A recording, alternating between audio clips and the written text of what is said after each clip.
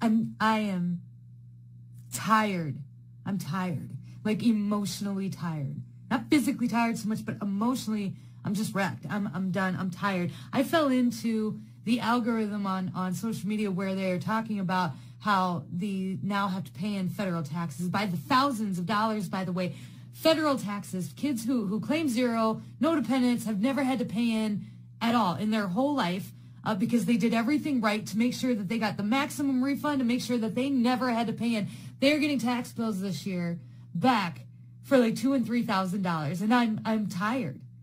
I did not authorize our tax dollars to go to Ukraine by the billions. I never authorized our tax dollars, your tax dollars, my tax dollars to go to Israel. I did not authorize my tax dollars to go to Iran every year for humanitarian purposes. I did not authorize my tax dollars to pay for a bag of cocaine, which is sitting in the White House. I did not authorize my tax dollars so that the press secretary can get up there in a suit that probably costs more than your latest car. I did not authorize my tax dollars to be spent on any of this. Why is that not a thing? Why are we not talking about that? Can somebody help me understand why that's not being taken into consideration by fucking anybody?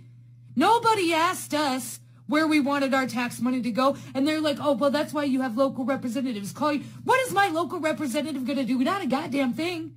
Not a goddamn thing. How many times have you reached out to your local representative to either be ignored or to get some kind of bullshit auto reply? Because I have. Just to have them stand up on the floor of Congress and spout about a bunch of bullshit that doesn't even matter and doesn't going to affect you in the first place. I am tired. I am tired.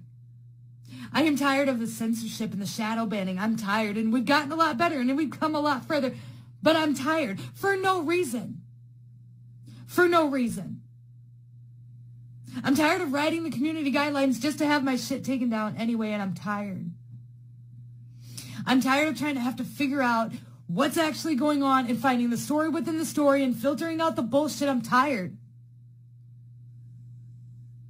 I'm tired and I don't know if it's going to get any better. And normally I am a great awakening person, but you have to pick that apart and, and you have to like see the lines under the lines. And it's just, it's, it's mind numbing to try and figure it out. You are almost grasping for hope at that point.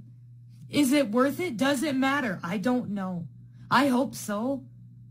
I hope this is going to get better. I hope this is the highlight of our 80 year cycle. I mean, it, it, if history is going to repeat itself, it has to be, but it's going to get so much worse until it gets better. And I just don't know how much worse people can take right now. Normal people, normal everyday people. I'm not talking about the influencers. I'm not talking about the people that took advantage of the, the, the PPE loan pyramid scheme. Did you know that that was happening? Did you know that people would just go onto a website and take loans from the government that were forgiven, who didn't even own businesses, who just made businesses up, who just pulled them out of their asses? And they got like hundred and two hundred thousand dollar loans that the government was like, it's cool. You don't have to repay that back. They're going to come after them now. That's what they say, but I haven't seen anybody actually held accountable. Maybe they are. I don't know. And I'm tired. I am tired of getting screwed by a bunch of, of crooks and a bunch of, of government people. I'm tired. We make it work. And I am I am okay. We are okay. But we're only okay is because I'm experienced, because I'm experienced in the bullshit and I saw it coming and that's not fair.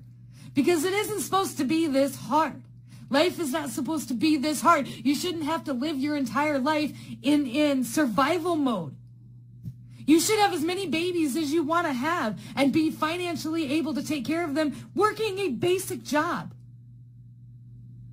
It's not supposed to be this hard. It's not supposed to be this hard. It's not.